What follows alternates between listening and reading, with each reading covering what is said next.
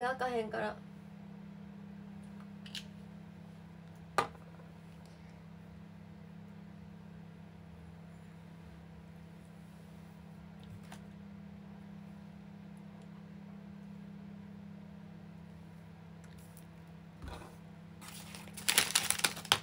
し。フランクフルト。え久しぶり。フランクフルト久しぶり。てか水のガブ飲みしていいですか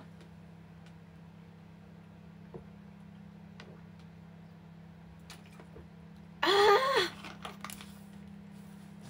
ーうまっ乾燥してさえめっちゃあかんやん。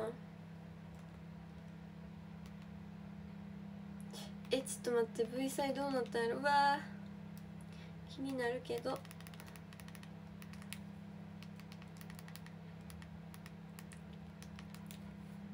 いつもの音楽で始めましょう。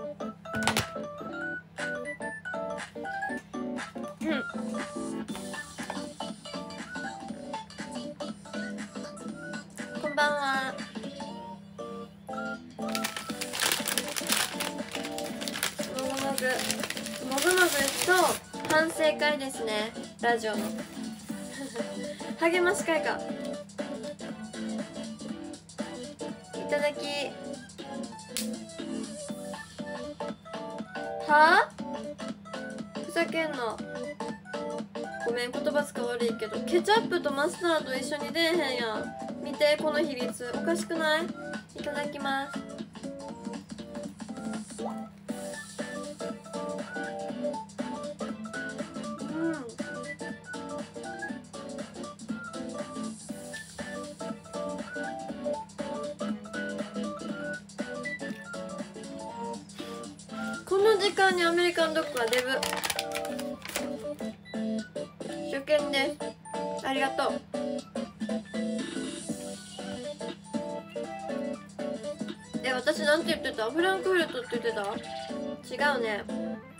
アメリカンドッグだね。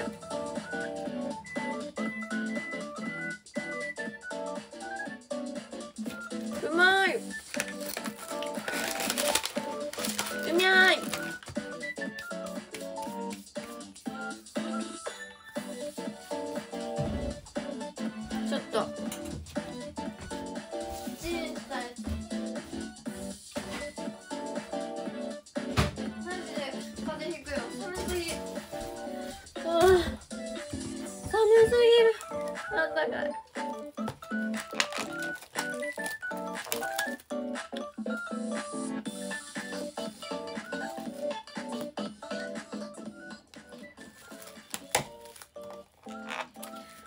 驚きの事実言っていい？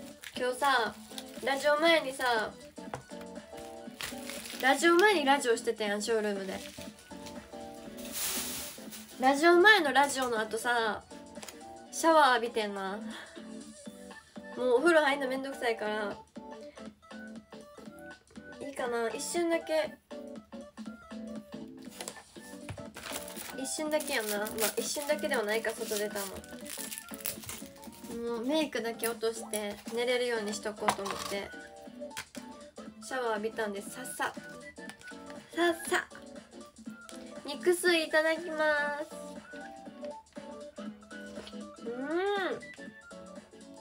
飯テロかな飯テロ。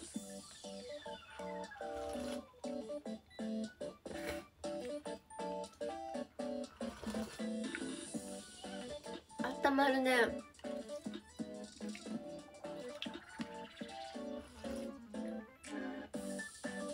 う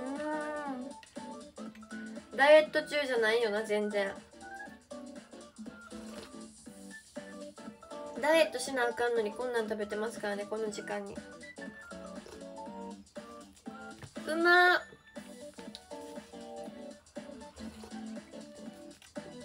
あーおいしい。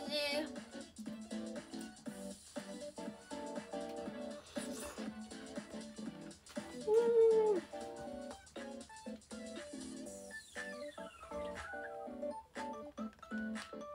私でもな。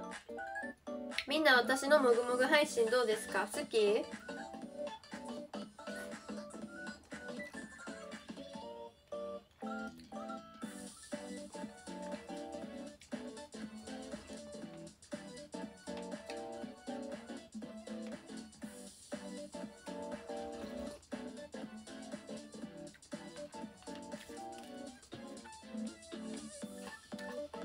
好きか？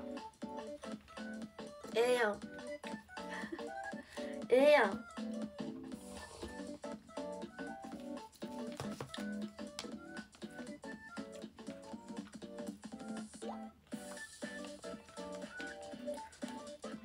いや。私が個人的に好きなんですよ。人の食べてる動画とか見んの。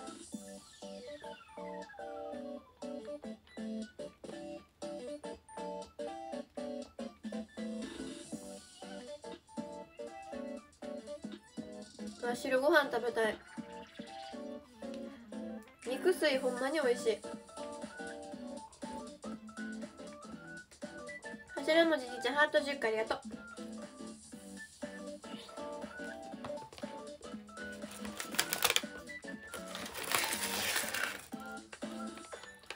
よし。危な。こぼしそうになった。普通に危ね危ない肉水こぼしそうになった。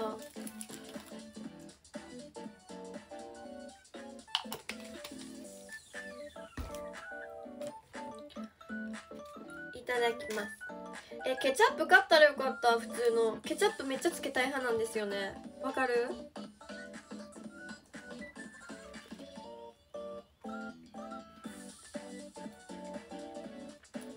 なんか今日のラジオはどうでした？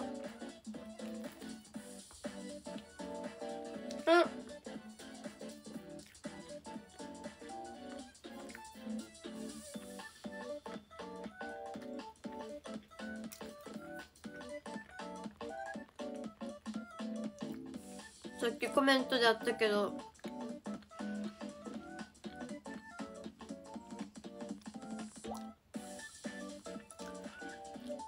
ラジオ面白かったってコメントがあった。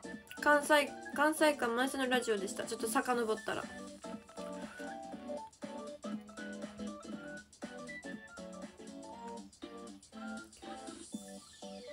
トークお上手。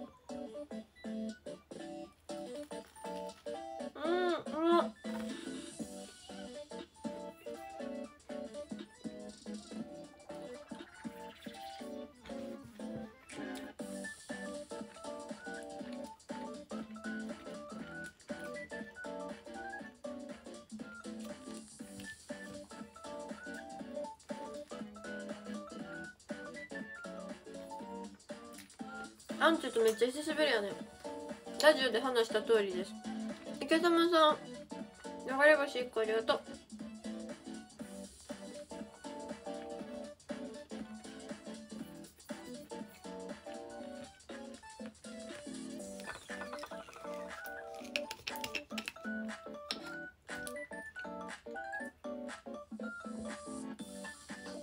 観覧来てくださった方もありがとうございます。今日は知ってる人いたよ。くれた人わかると思うけど。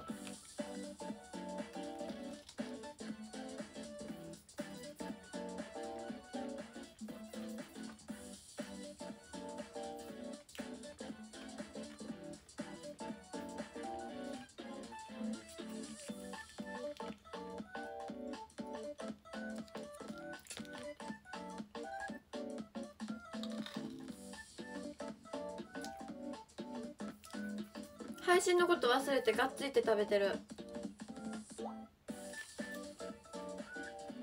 うん。うわー。わー。デリシャス。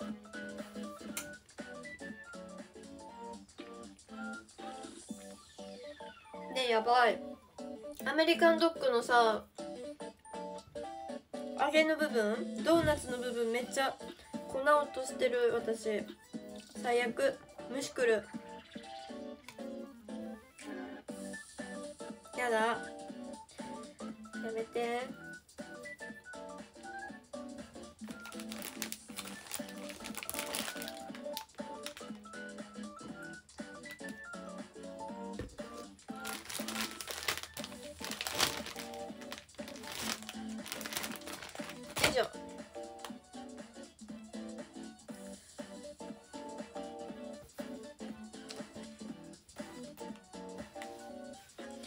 なんかさラジオ面白いですよね。ラジオっていうか面白いですよね。何が面白いかって言われたら分からんけど。人と喋るの面白いな。気づいたら今日も終わってましたね。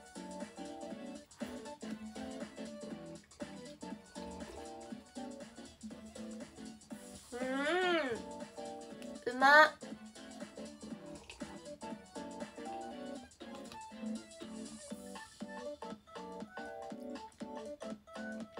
まい。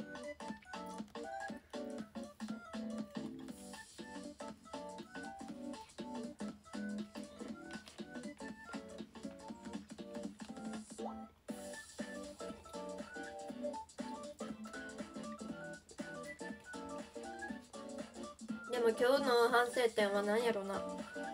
ちょっとなんか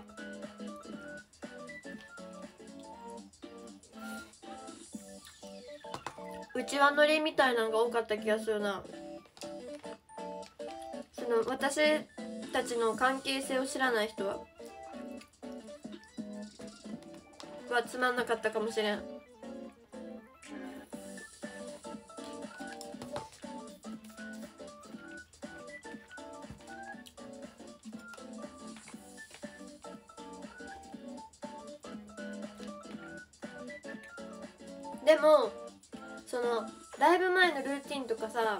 のって話すことあんまないからああいうのはファンの人的に嬉しいんじゃないかなって勝手に思ってたんですけど。うんやばいこぼした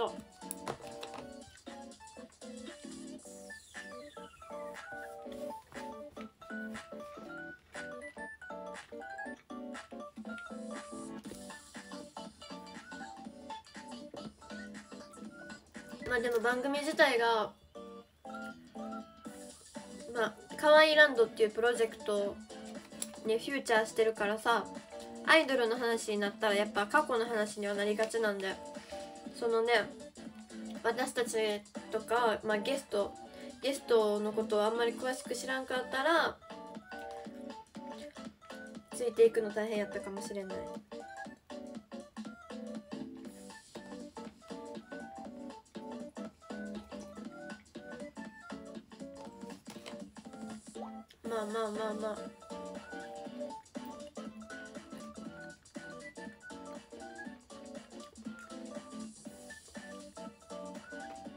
私の相づちかな。相づちが下手くそ。なんか次の話どうしようかなって考えている時考えながら相づち打てなくて。なんかなんやろ。ちょっと冷たい感じの返事になっちゃう。そんなつもり全然ないねんけど。なんかうんうんうんみたいな。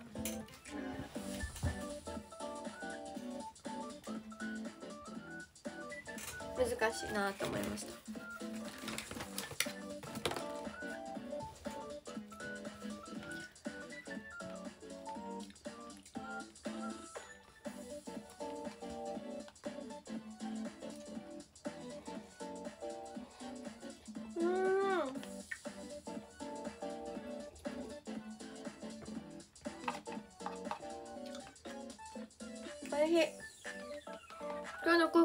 公開収録見れちゃう。ありがとう。最後いたよね。最後手振ってくれた。私手振り返せへんかったかもしれん。遠くから見てたよね。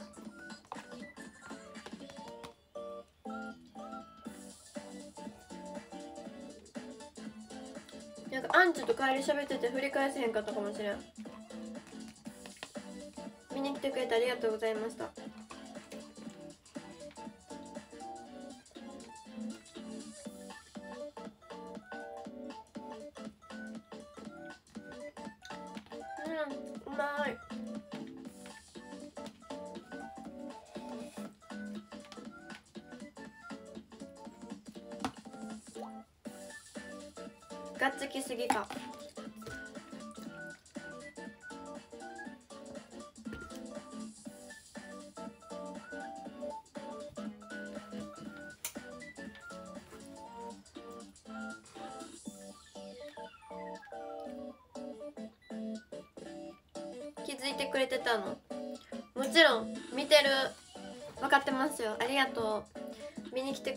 ありがとうほんまに。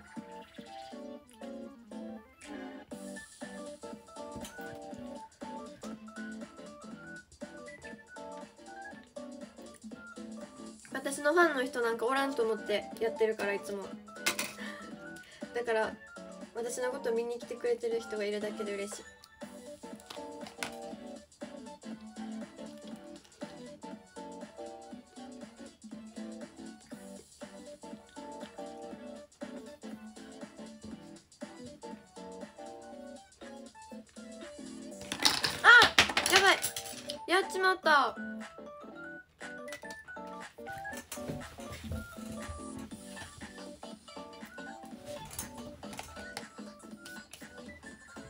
出待ちになっちゃった？あ。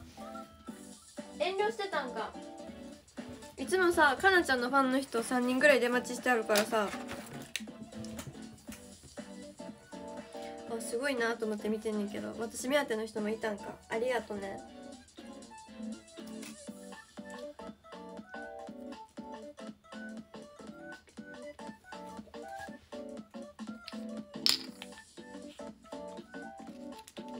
配信どころじゃないお腹空きすぎて今。正直。めちゃめちゃがっついてますけど今。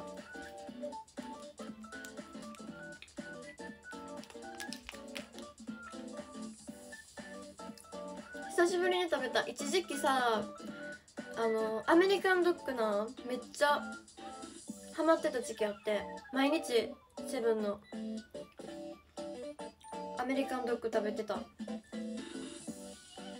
きなんですよねアメリカンドッグ。分からん？分からんって聞き方おかしいか。分かる？めっちゃ美味しくない？口の端に食べかせあああ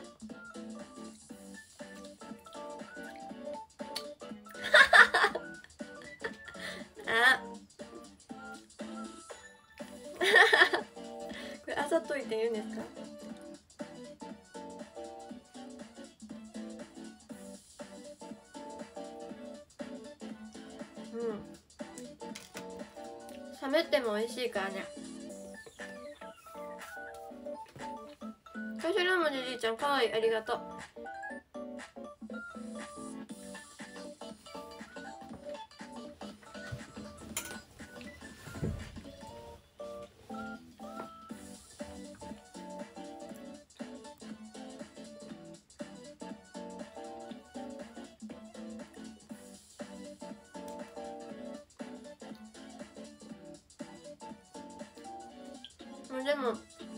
次の土曜日はないから次5月か。5月の第1土曜日か。早いな。あっという間ですね。4月から始まって。もう終わりだ。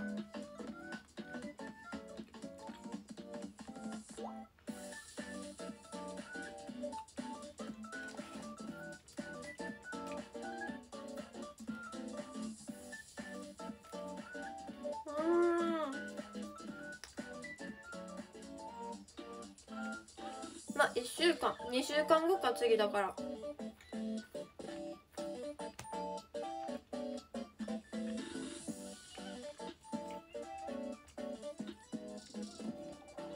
月日次の早く感じる？ねほんまに。今年特にかもしれん。だってもう4月やで。あ4月やでっていうかもう5月なるんか。えちょっと待って早っ。えちょっと待ってでも去年もめっちゃ早かったんな。特に去年早かったの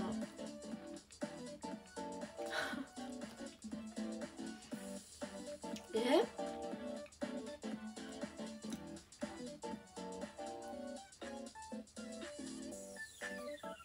怖いね。でもみんなそんな焦らなくていい。日々生きてるだけで偉いから。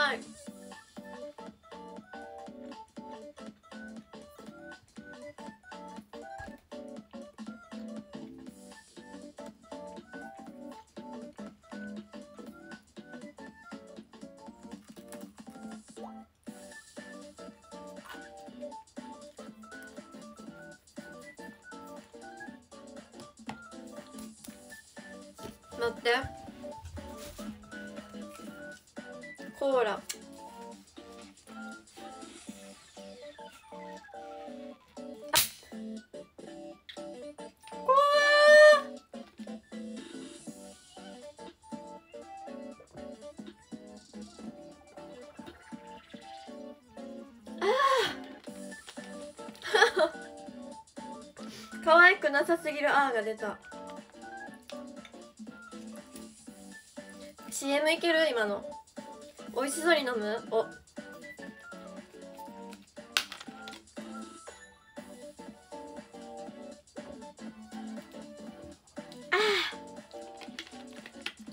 ー。CM?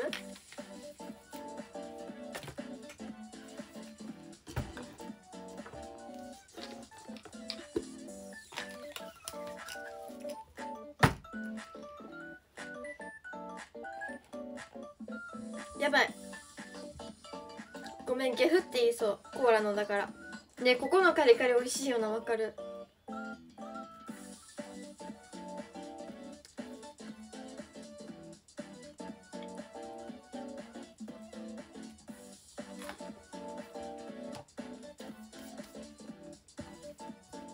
で正直なところさそのラジオで話してた。開けへんっていうのはどうなん？嬉しいんですか？可愛いポイントなん？でも私自分で開けれるやつは大概自分で開けれるけどな。たまにさめっちゃ硬いやつとかあるやん。そういうのはごめん開けられへんって言うけど。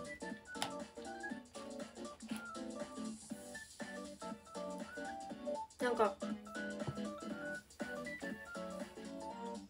頼られ私頼られすぎると嫌な嫌になっちゃうかなって思うねんな。そんなんも自分でできんのかいみたいな。なんか強い女でありたくない？強い女が言い方悪いけど強い女性がそういうたまに「ごめん開けて」みたいなのが可愛いんじゃない？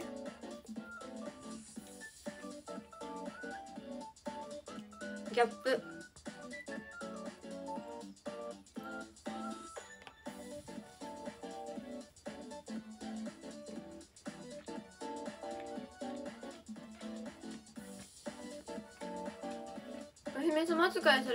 なのね。うん。うん。うんお姫様扱い大好き。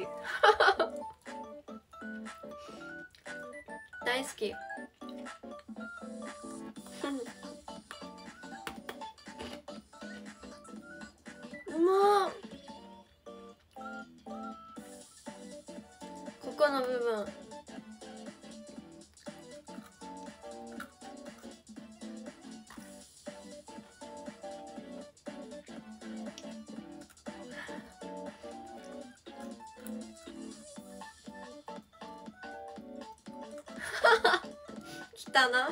ごめん。来たな。え美味しかった。ごちそうさまでした。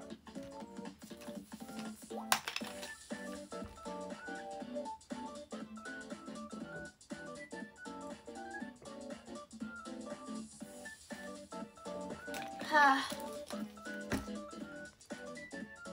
頭文字じいちゃんハートチュークありがとう。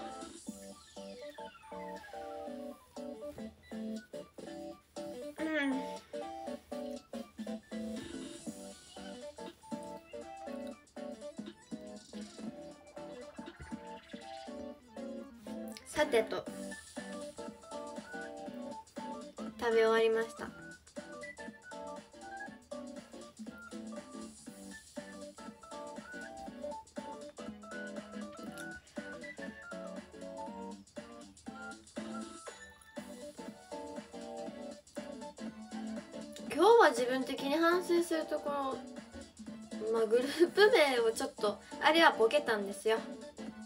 まあそこと相づちと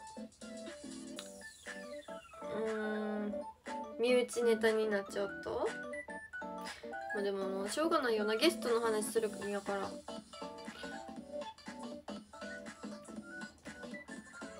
まあそんな自分的に今日は悪いとこなかったです。普通に楽しかったです。自分が自分があの楽しくお話できたんで。自己満。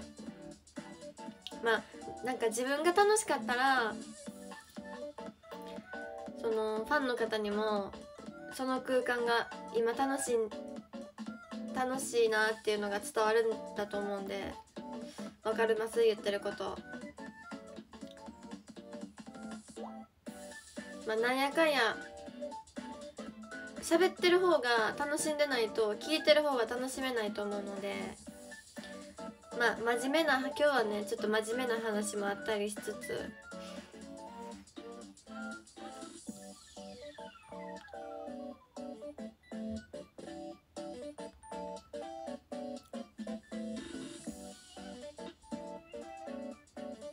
って感じですかね。だから今日はまあまあまあまあまあまあって感じです。楽しかった。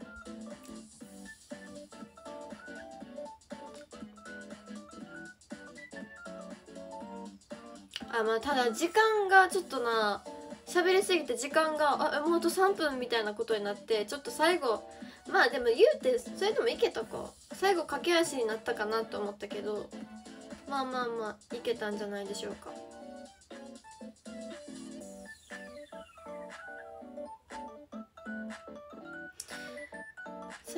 NAB 好きやった人からしたら嬉しいですよね。今日のなんか久しぶりの風アンチュっていうのは。見れて嬉しいんじゃないでしょうか。あそう。観覧に来てる人の顔端から端まで見ながらおしゃべりしててさすがだなと思った。ありがとう。そうだね。観覧の人ともねコミュニケーション取るように気をつけてるかな。振る振ったりとかしてますかね。意図的にちゃんと。やっぱね巻き込んでいかないとあそこ寒いしね今日なんか特にまた雨降ってたりして集まってくださってるから。まあ。一緒に話せた方がね見に来てよかったって思ってもらえると思うのでそこは意識してるとこかも。よく見てくれてますね。確かに言われてみれば。まあ当たり前なんですけどね。いつか公開収録行きたいんですけど場所は渋谷えしえ何やったっけあそこ。タワレコの近くやんねもう調べたら出てくると思う。クロス FM 渋谷。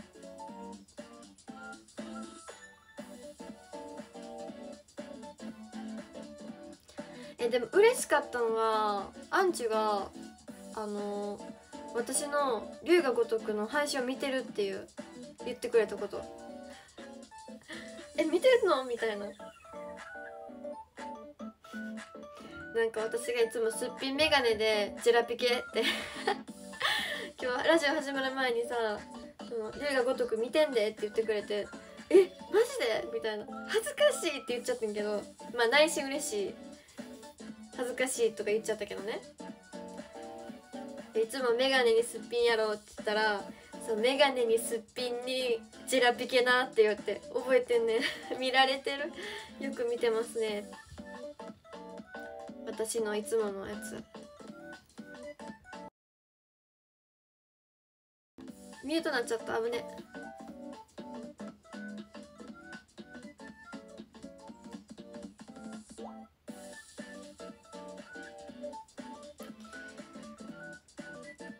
つもの配信セット。うん。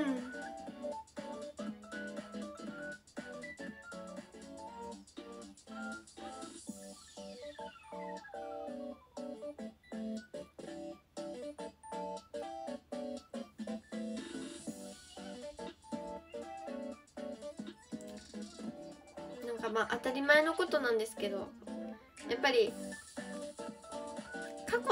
りがあるかないかでだいぶと喋りやすさが変わってくるなと。改めてですけど。当たり前かこれはみんなそうか。初対初対面の人と初対面の人といきなりバーって喋るよりかそれはな昔から知ってる人と喋る方が花咲くわ。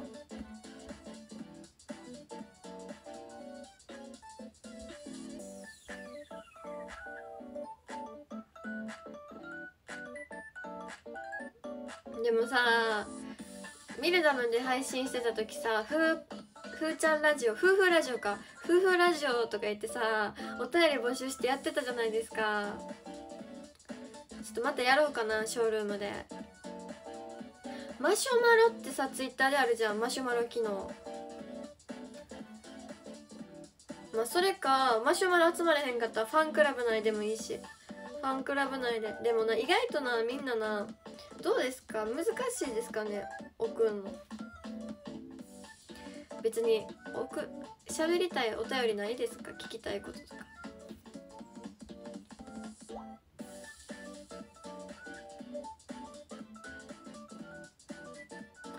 夫婦ラジオとか言って。これってさあのなんだ？カラオケ以外でもさイヤホン付きマイクつけたらマイクが響くんかな。そうでもないんか。ちょっとやってみようかな今。確か違ったっけ？いや慣れへんかった気がする。慣れへんかったわ。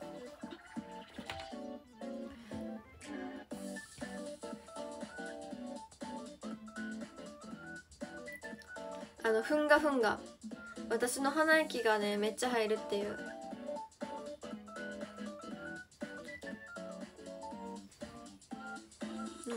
食べかすついてるんかと思った。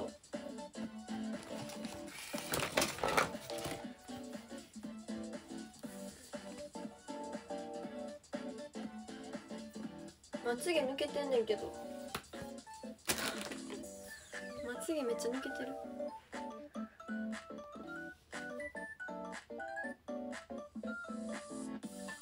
だからねちょっと夫婦ラジオやまたねやってみようかなって思ってる。ツイートでさツイッターでさマシュマロやったらなんかみんな協力してくれます？お便り募集みたいな。なんかトークテーマ決めたらいいんかな？何でもいいやなトークテーマとか。なんか理不尽だなと思ったことを。マイナスの話やけど。自分だけの自分だけの特技とか。なんかマイナーなやつ。その面白いなって思うのが「さんま御殿」「さんま御殿」かな？あれ何？からくりテレビやったっけ？なんか私だけが何々みたいなさマイナーなさお題でさあるじゃん。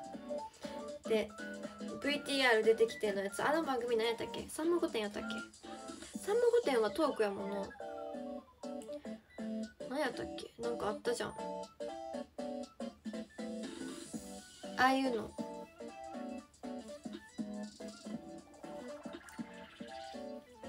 ああいうなんかねコアなやつ。合ってる？さんま御殿か。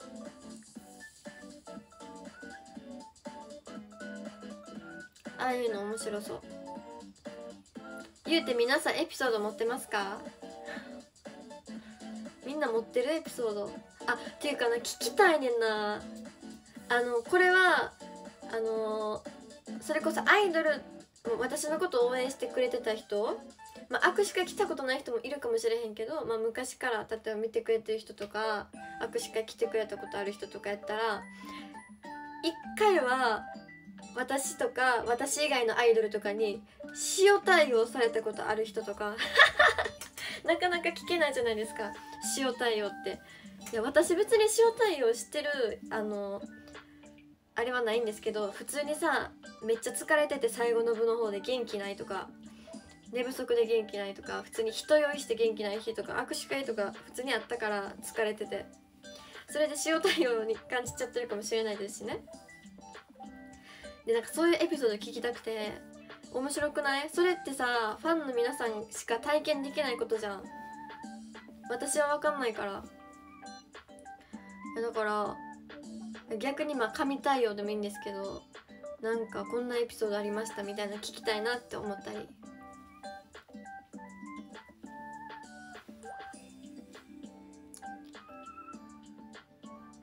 私が意図的に塩対応したのはあのそれこそなんか帰り怖い思いさせてくる人ストーカーみたいなことをしてきて家特定しようとしてきた人とか 握手会できにしてもらうねんけど来たら「ありがとうございます」はい「ありがとうございます」ってなってました。それくらいかもしれないその意図的にやったのは塩というか。疲れてる場合は別に「すいません」なだけやな。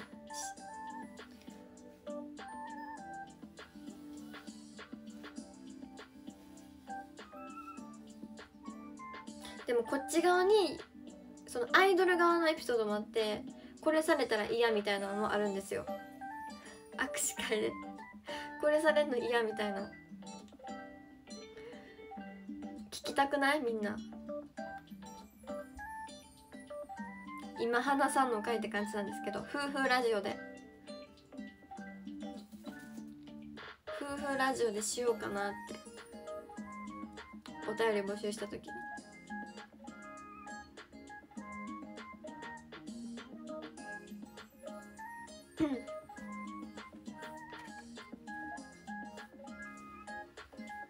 逆に嬉しかったこととかあるしないっぱい。まあでも気まずいあるあるは私のことを一押しやと思ってた人が他の人のレーンに並んでるとこ見た時ん？二度見するよね。握手会全部終わってまだ他の連なんかやってたりとかした時に帰る時にパッて見たら「んん？ん？ん？んあれ？見間違いかな？あれ?」みたいなあったり。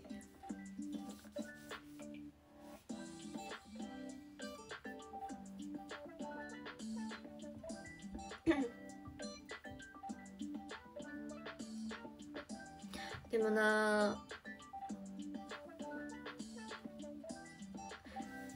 まゆさんについてる警備員さんいつも同じ人で全部話聞いてる。へえあでも私も NAB OGS さん？OGS さんでなんか同じ人ついてくれてたり知ってたよね私も。で顔見知りになるのよ。あこの人私の担当の人だみたいな。今 OGS さんいんのかな？いやあるあるあるあるよなそういうの。あ OGS さんこの人。おはようございます。今日よろしくお願いします。みたいになんねんな。いや OGS さんが一番しんどいと思う。てかもう握手会誰が一番しんどいかって言ったらそのやっぱ横についてくれてるその OGS さんやと思うね。警備員さん。ずっと立ちっぱなしやからな。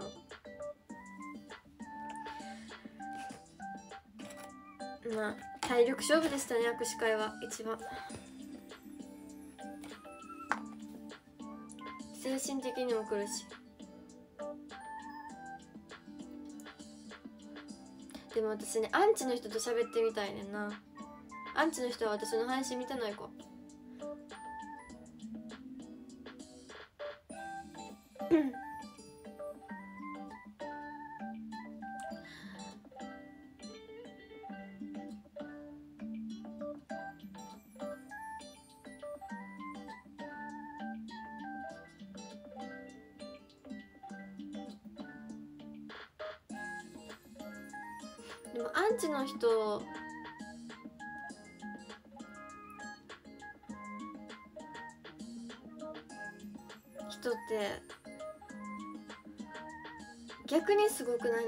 逆に見てるじゃん。逆にそこまでさとかなんか興味あるじゃんと思っちゃうね。逆に。逆にわざわざ悪口書き込んだり言ってきたりするって。なんかわざとこの嫌がるようなことしようみたいな考えて言うわけでしょ。この子を傷つけようみたいな。でも普通に考えたらやばいけどな。その若い10代の女の子とかにさ普通に悪口言うわけでしょ。もう一体さどんな人生送ってたらさそんな人になるんそんな化け物が生まれんのみたいな誕生するんだろうって思うんですよね。だから普通にまずアンチの人だったら「何の仕事してる人ですか?」あの生活聞きます。なな何してる人ですか？へえ誰が好きなんです？へえなんで私のことを嫌いなんですか？みたいな。でも嫌いに理由なんてあるんかな？てかここにいる人もさ多分嫌いなメンバーできたことある人もいると思うんですよ。例えば。そんな人は今多分心が今ドキッてしてると思うんですけど。この話されて。だから特に理由はないけど生理的に嫌いみたいなのもあるじゃないですか、まあ、人って合う合わないあるし顔とかそれこそビジュアルかビジュアルで私の顔がめっちゃ苦手みたいな。でもだからって苦手やったら別に握手会行かないし別に見ないじゃないですか。だけどわざわざ本人の目に触れるようなことを書き込んだり言ってきたりするっていう。そこまで行くなぜそこまで行くことになったのか知りたいなって。思いますね。なんか今はもうその SNS とかで、まあ、開示したらさ訴えられてお金取られたりするからみんな怯えてると思うけど、まあ、私が入った頃とかは書き放題やんか。言われ放題やってさ。うんなんか表に出るっていう以上絶対に傷つけられることは有名税じゃないけど代償なんだみたいな思っててんけどなんかだんだんそうじゃないよねっていう風に世間がなってきて嬉しい。言われるのは世間に出てるからしょうがないよねっていう感じで風潮だったと思ってたんです自分の中では。てかそう思ってたし私は。だけどそうじゃなくていや言う方がやっぱおかしくね？ってなってきたのが嬉しい。当たり前やけど。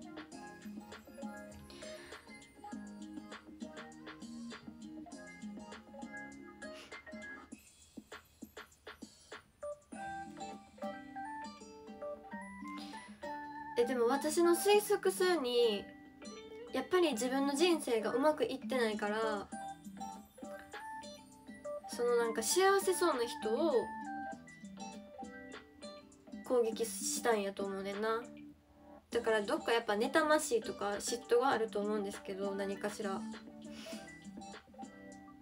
じゃないと普通にただ純粋に嫌いっていうなんかもうその熱がその熱だけで攻撃するって相当やなって思うから。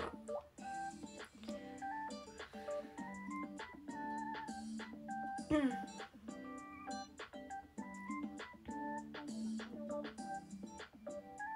まあでも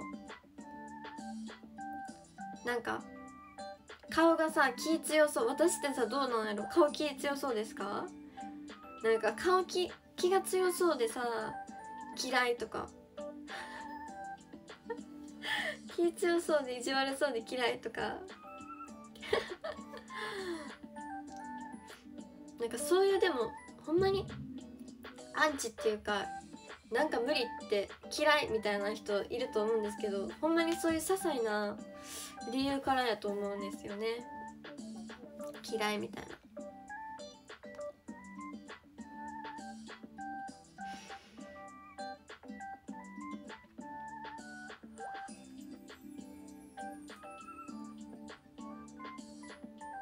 か見た目のことではもう傷つかんくなったな。最初はめっちゃ傷ついたけど見た目のことで。てかふざけんな。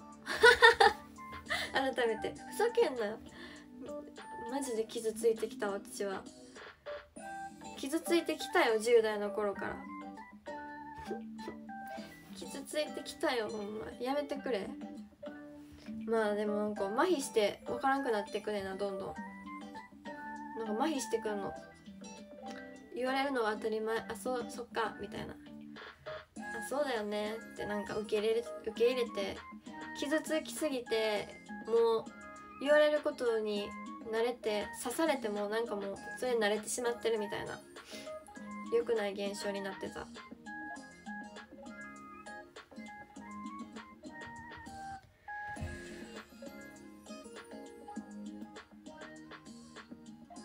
まあね。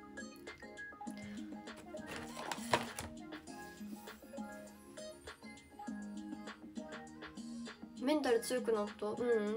強くならなくないですか？傷つけられても傷つく。しっかり。しっかり傷つくけどなんかもう諦めちゃうみたいな感じじゃない？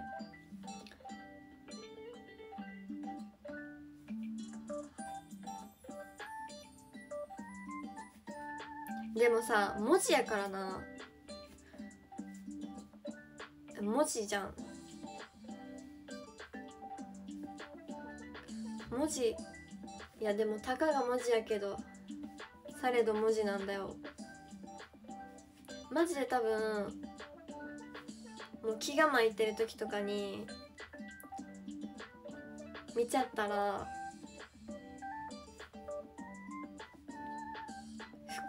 もう取り返しつかんことになったりするんやろうな。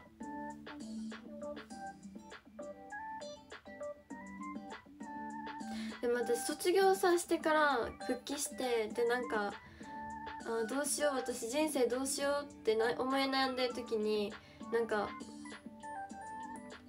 もうツイートツイッターとかインスタとかなんかそれも病んでんねんけど普通に。もう誰にも私のこと見てほしくないと思って。もう誰も私に関わってこないでと思って。なんか鍵かけたりしたんですよ。一回さもう全部 SNS 消したろうかなと思ったこともあるぐらい。もう全部消して姿消そうかなって思ったんやけど。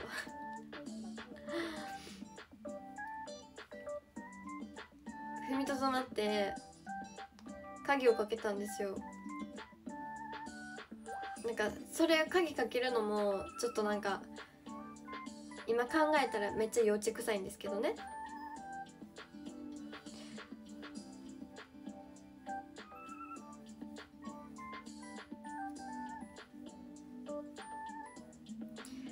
あの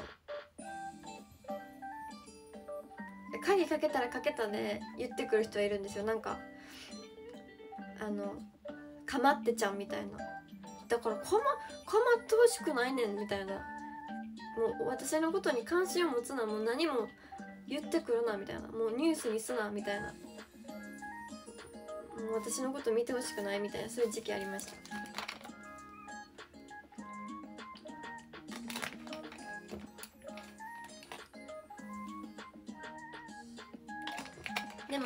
たがりやからそういう人たちって。なんか私のことバカにしてんのか知らんけど。あんたも大概やん。なあみんな。あんたも大概やで。アンチに。あんたも大概やで。かわいそうに。って感じです。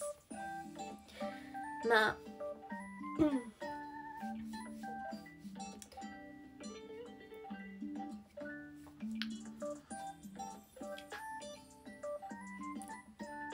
物申したいことはいっぱいあるんですけど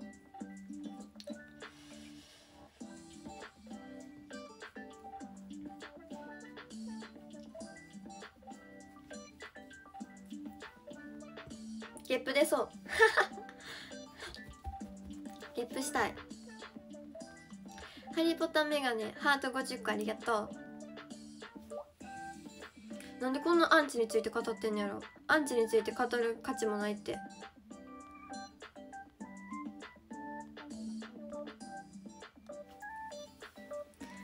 青春のゲップタイム？最悪。ちょっと待って。全 NAB ファンから叩かれろ私。全 NAB ファン的に回してないこれ。青春のゲー。タイムすみません。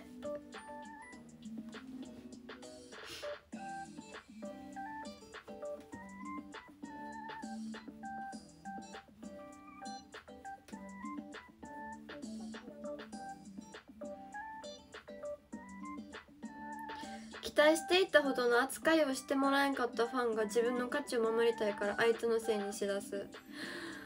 ああなるほど。ファンやったけどアンチになる。自己ベストだよ。ちょうまいことやめてください。うまいこと替え歌。いやなんかうまいこと言ってんな。格闘技やっててプロフィールに書くとアンチ減る。強いからそんなことでへんの。青すぎるやろだとしたら。どんだけ単純やねん。何10人に気になるか？あんたでもいいよ。あんたでもいいよ。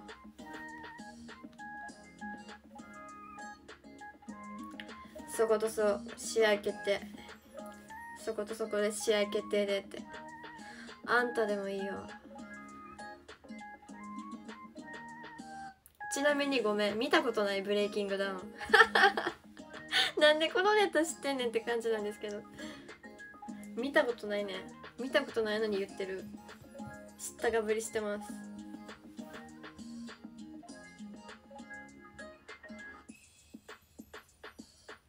体重聞かれんの？困るそれは。急遽1 0キロ痩せなあかんやん。急遽痩せなあかんかも。まず。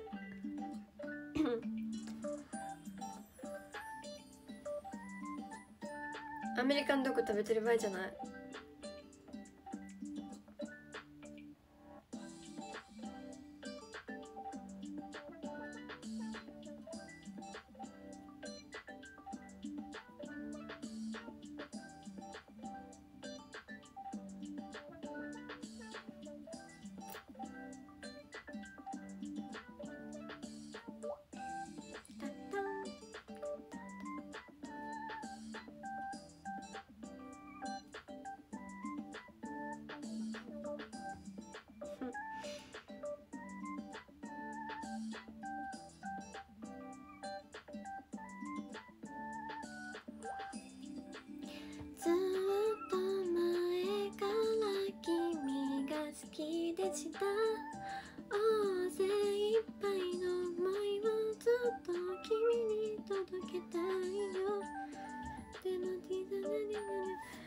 毛切りたいな。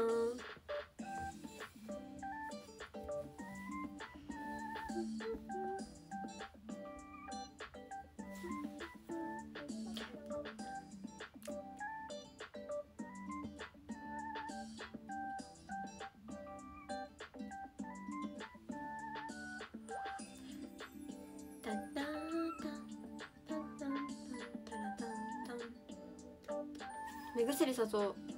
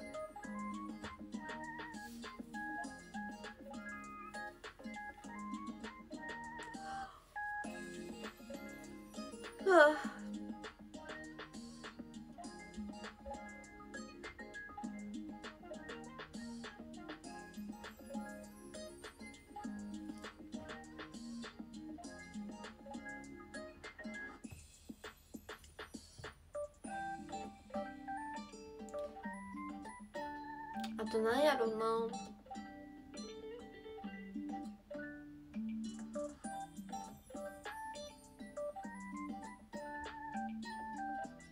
夫婦ラジオするとしたら他なんか皆さん聞きたいことありますか？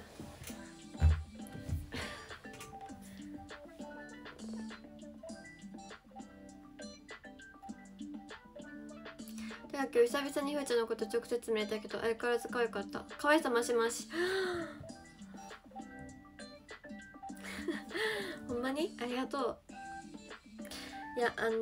私ね若くなりたいんだよ。もっと若くなりたい。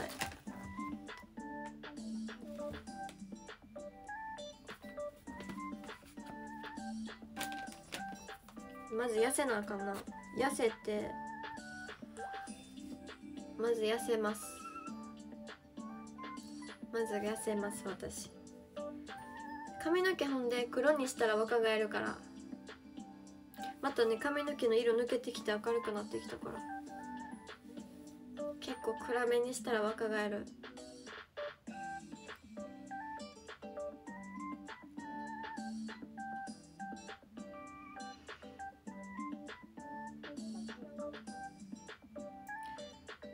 なんかちょっと前までは大学生に間違えられてたけど今はもう年相応に見えるって感じやから若く見られたいなって。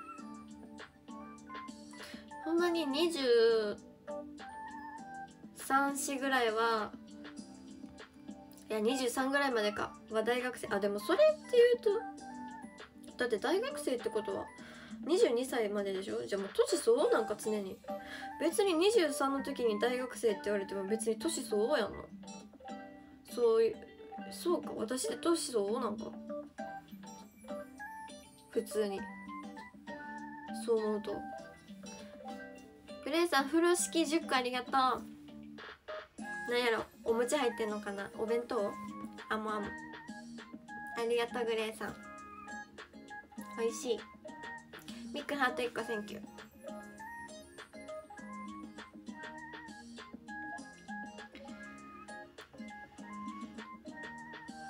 うん。ダームペンポテンザうん。なんか私ハイフもやったことないしやってんのはピコレーザーとかかな。レーザーですね。あの肌がさ弱いから薄くて。だからそのなんかダウンタイム系が発生するやつはしてないねんな。そんな毛穴も自分的に毛穴はあんま毛穴はあんまやねん。毛穴っていうよりかはなんか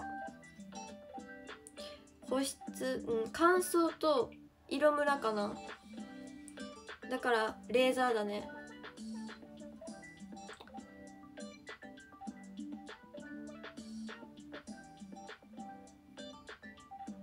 でももうマジで1年ぐらい行ってない。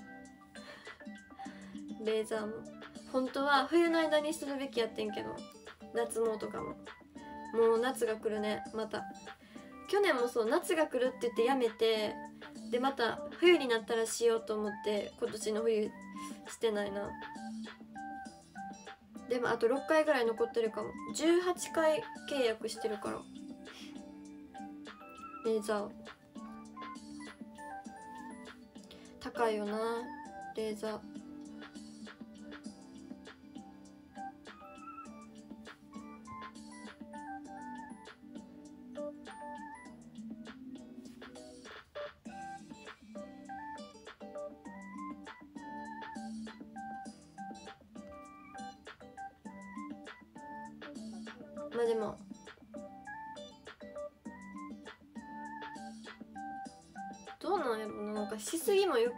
たいな言うけど。ね。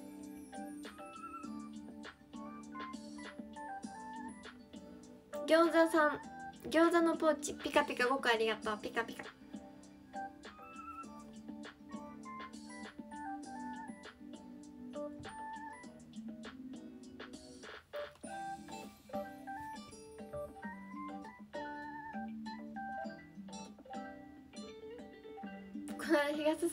人ってふーちゃんからでなった。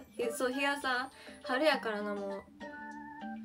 えー、今年日傘買ってない。新しく毎年な新しいの買ってんねんけど今年買ってない。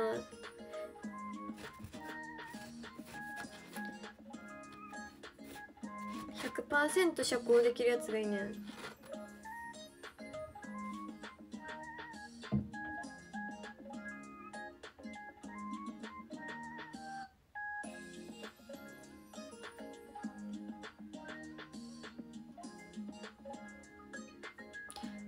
ねちなみに使ってるとこはあの何やったっけ？名前出てこうへん。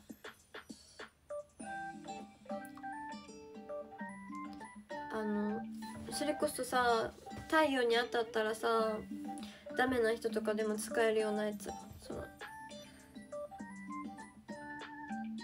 なんで名前出てこへんやろ？高いねんなあれ。うん。ミックアイス1個ありがとう。ペロペロ。おいしい。ありがとう。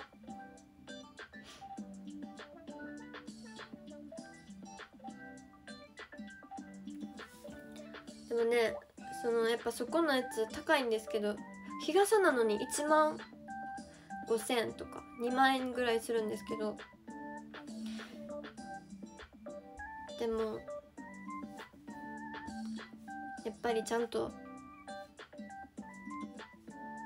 鍵になってくれて UV カットしてくれるんで好きで。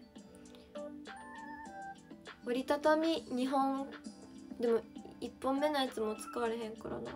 今3本目なんですけどやっぱずっと使ってるから破れたりしてくる。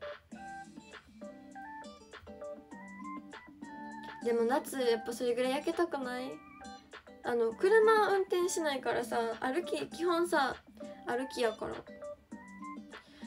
だからやっぱ焼けるんですよ。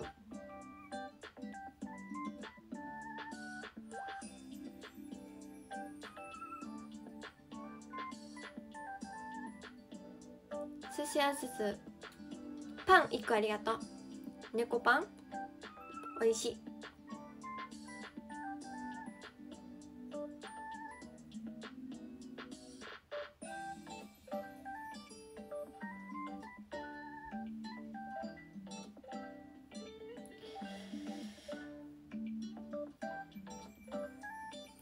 極力だから言うと外出たくないよね。海なんか絶対行きたくない。あえ待ってフルーツサンドお寿司やすすありがとう。あまんおいしい。バナー。バーナー。ありがとう。でフルーツサンドおいしいよな。大好き。めちゃめちゃ好き。えあのさ中目黒にあるさ有名なフルーツサンド屋さんあるやん。行きたいよ。行きたいあのフルーツサンド。ホイップクリームがね好きなんですよね。東海オンエアとコラボしててさもう終わったんかな。行きたいなって思っててんやけどな。なんていうお店やったっけ？餃子のポーチさん。フルーツサンド2個。ありがとう。あまんおいしい。バナありがとう。餃子のポーチ。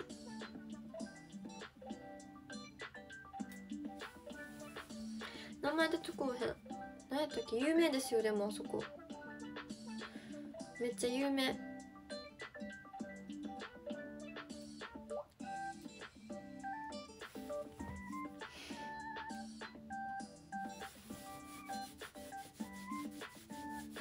あとさそういうさフルーツ系じゃないわなんていうの？スイーツか。スイーツ系で言うとあのー、なんとかドーナツって今有名スマイルドーナツじゃなくてめっちゃ並んでてんな前見た時。あれ1ヶ月前ぐらいかな。めっちゃ行列できててんな。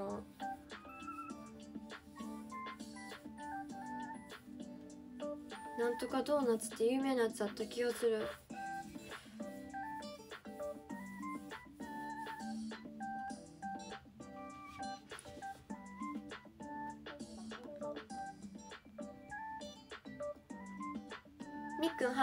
ありがとう。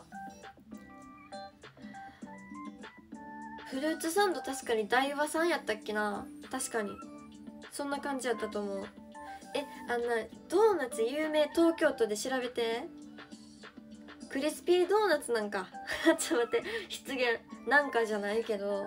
流行っそれはもう流行ってるとは言わんくない？もう定番じゃん。それはもうミスドかクリスピードーナツかじゃん。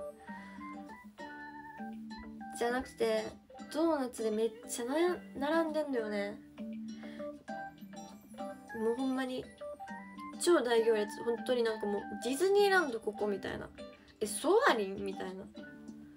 えタワー・オブ・テラー。みたいな。マジでずっと並んでんの。絶対無理私。ほんまに並んで何かを食べたっていう経験が皆無やから。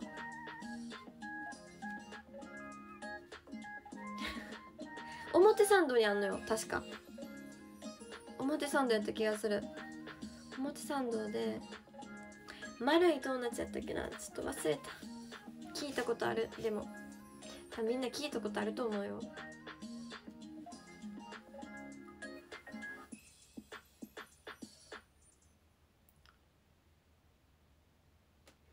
ちょっと思い出せない。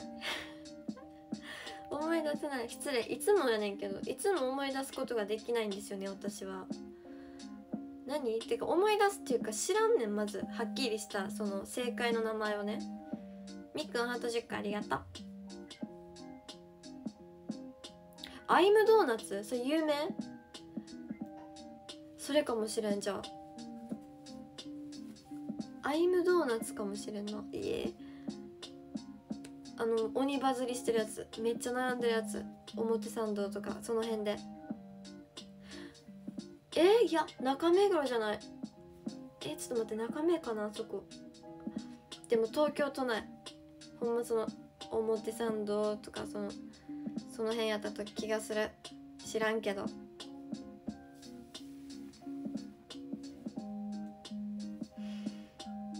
知らんけどね。えでもなそんな私店知らんねんな。みんなよく知ってんね。詳しくない？調べてる今。ちょ私も PC で調べるわ。はいちょっと待って。あなんか落ちた。しまってな。調べる。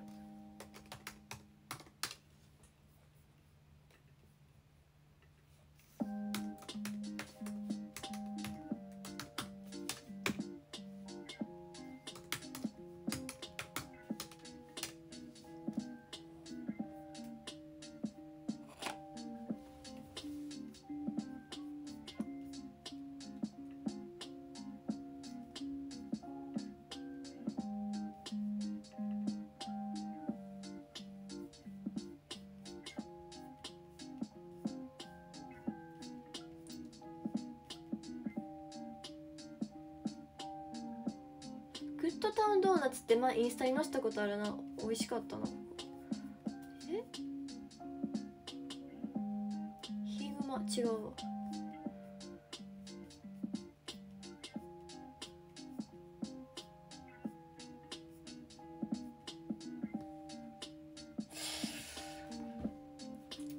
えちょっと待って。出てこへんぞ。じゃ行列ドーナツ東京都で調べるよ。行列。じゃドーナツ。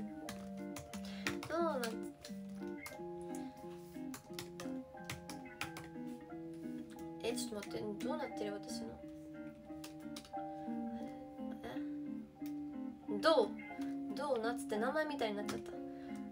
ドーナツさんや。ドーナツ行列。東京。2時間待ち。アイムドーナツで合ってるわ。ごめん。アイムドーナツや。え中目黒やったっけ？あそこ。えあそうこれこれこれ。アイムドーナツ。これこれこれ。なんこれ？なんこれとか言ってんねんけどなんこれ？マジで。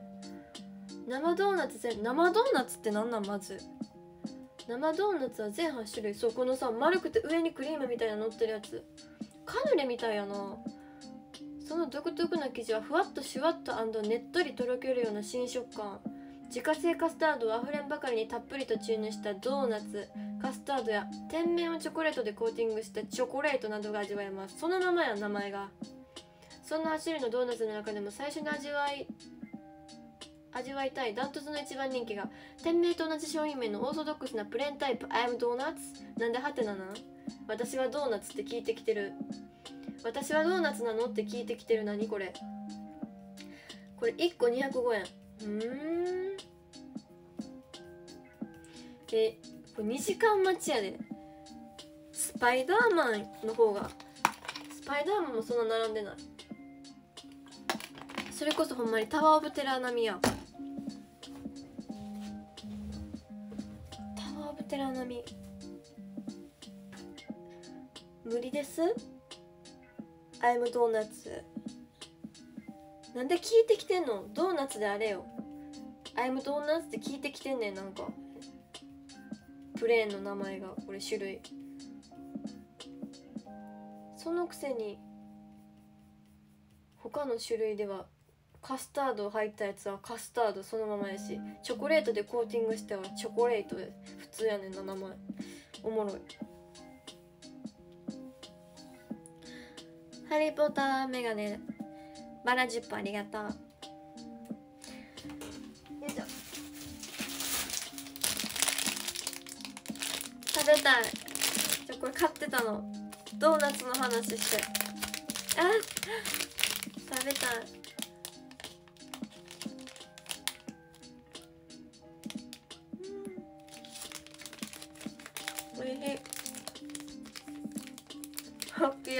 って言ってたな。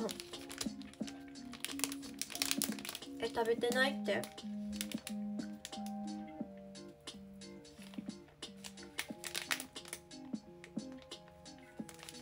うん。ふん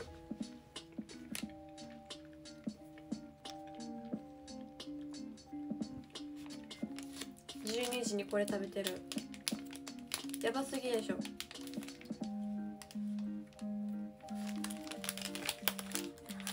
ミックハート10個ありがとう。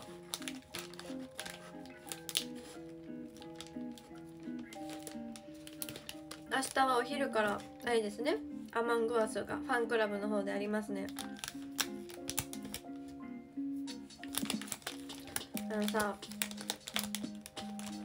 オンライントークさたまにさ繋がらへん人いるからさあれ焦るよな。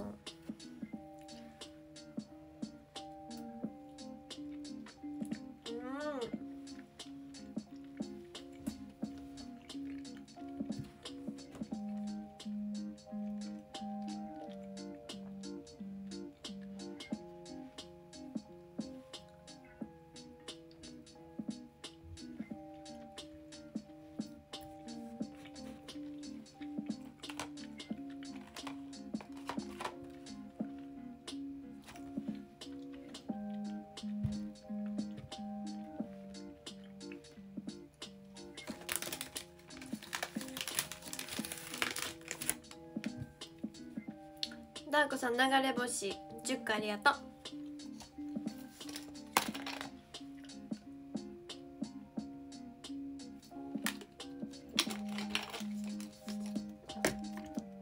うん。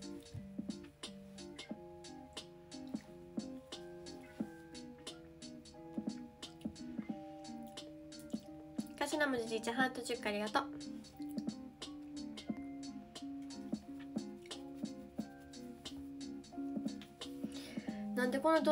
してたんやろ。あでもあともう一つずっと言ってるやつ。あの何やったっけ。たぬきたぬきベーグルか。たぬきベーグルも食べに食べたいってずっと言ってんねんな。朝からな並ばなあかんやつ。検討に検討を重ねた結果やめとこうってことになるんですよね。いや無理。朝からこれ並ぶの無理。検討に検討を重ねた。ベーグル好きってかね思ったんですけど私もちもちしたのが好きなの。お餅めっちゃ好きやねんけど。ベーグルもパンでももちもちしてるじゃん。今これさこれもさめっちゃもちもちしてんの。餅系が好き。寿司やすすパン1個ありがとう。あまあまおいしい。ありがとう。検討に検討を重ねた結果私は岸田総理より検討した。すぐ検討するけどあの人は検討してまいります。それよりも私は検討してる。会議もしたしどうするこれって。明日の朝え8時ぐらいに行く？8ぐらいに家出て並ぶ？無理やなーって。ややめとこう。朝からベーグル食べれへん。15時ぐらいに食べたい。ベーグルって。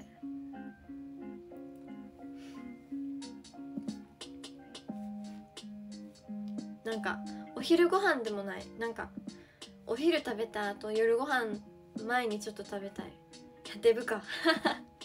お昼ご飯じゃないんかいっていう。なんかそれぐらいのおやつ感覚でちょっと食べたいみたいな。うん。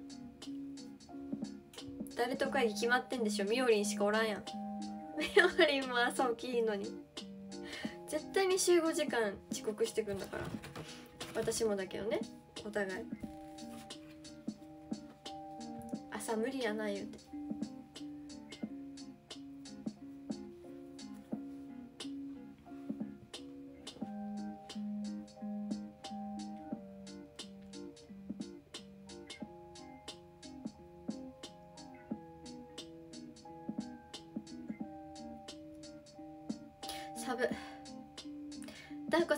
ーコさんハート10個ありがとう。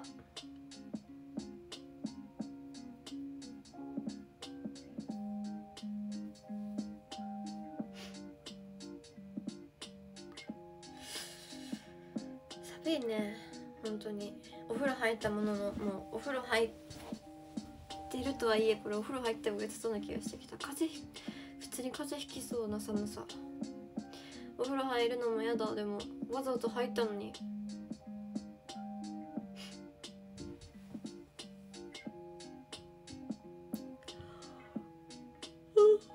眠たいはあ。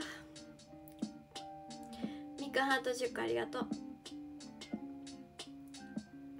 雨が寒いんだよ本当に。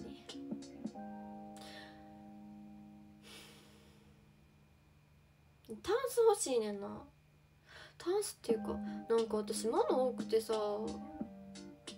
まとまってない部屋が。段ボールにまだ入れて入れっぱなしのもあるし服は全部あれしたけど。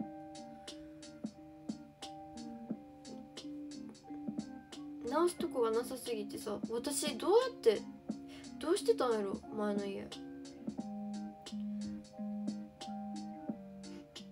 しーちゃんスターレインボー1個ありがとう。きれいありがとう。頭文字1ハート10個センキュー。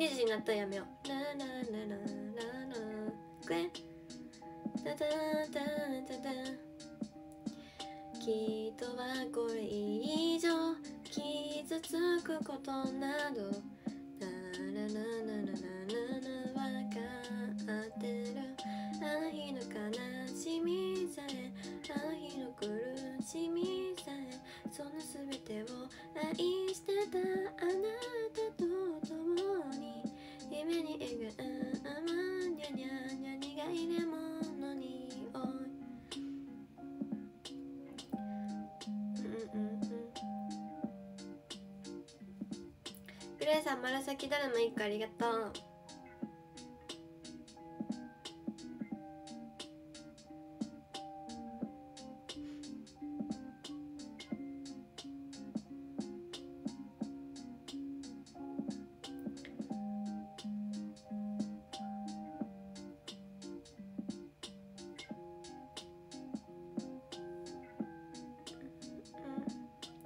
確かになんかもう頭ぼーっとしてきた。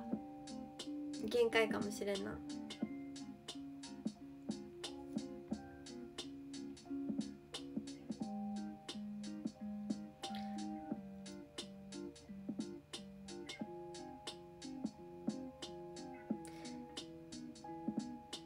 意外と喋るって頭使うからな。なんか疲れるんかもしれん。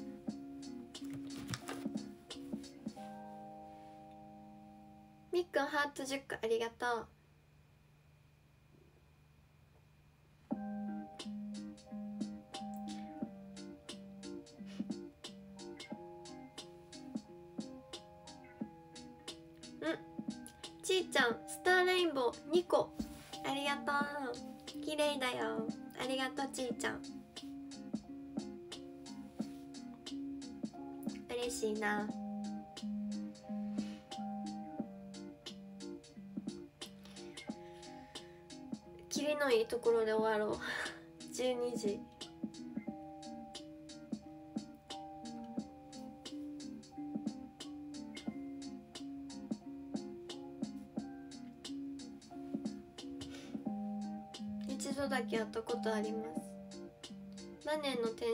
で写メ会しました。ありがとう写メ会ぶりです。しおんちゃんしおんさん。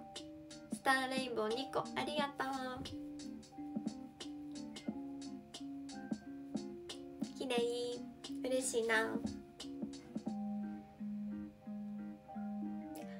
頭文字じいちゃんスターレインボー1個ありがとう。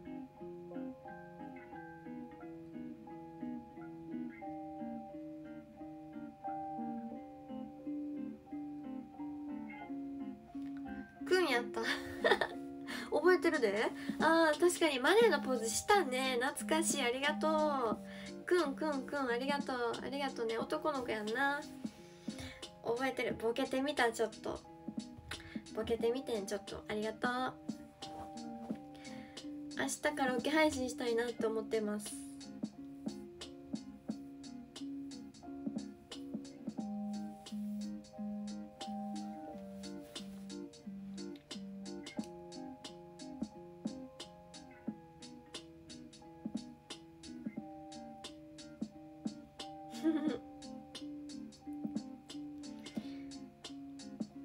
げましょう。盛り上げましょうじゃない。盛り盛り上がってください。たのあ楽しみにしててください。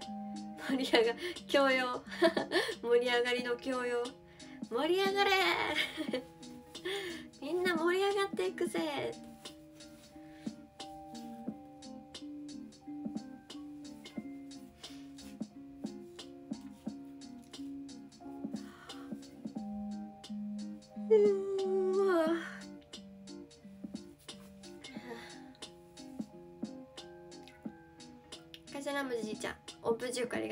準備できてるのも盛り上がる準備できてるんやないのもしかして明日の。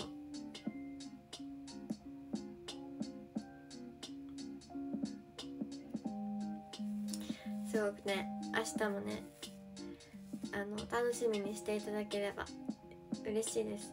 ということでもう59年明日が今日になる。明日が今日になる時が来ます。ということはもうみんな私のライフがゼロになるということで。もうこのままおやすみなさいというお時間になってまいりました。今日も配信あ配信見てくれてありがとうございました。コメントもありがとうございました。そしてギフトくれた人本当にいつもありがとう。ギフトくれた方ありがとうございました。それでは皆様お疲れ様でした。ありがとうございました。また明日カラオケでお会いしましょう。そして明日お昼ファンクラブの方でスクラッチのゲーム参加してくれる人よろしくお願いします。ではありがとうございました。また明日。